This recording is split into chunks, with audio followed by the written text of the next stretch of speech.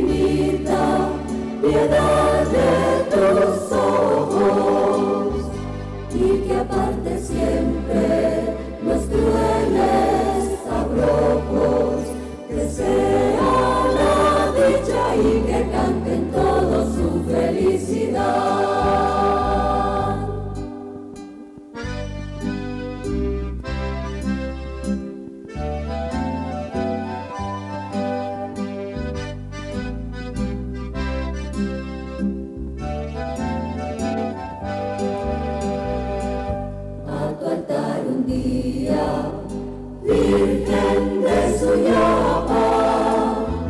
llevaré las rosas más bellas de honduras y estarás entonces